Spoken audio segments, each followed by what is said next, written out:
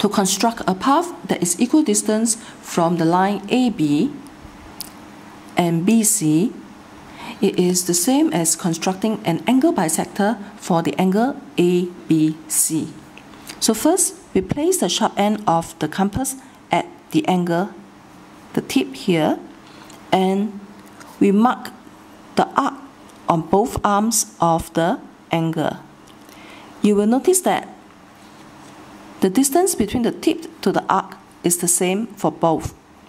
Now, we place the compass sharp end at one of the arcs here and mark an arc up here and place it at the other arc and mark another arc.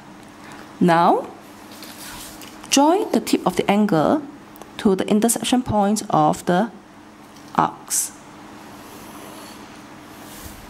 This will be the angle bisector.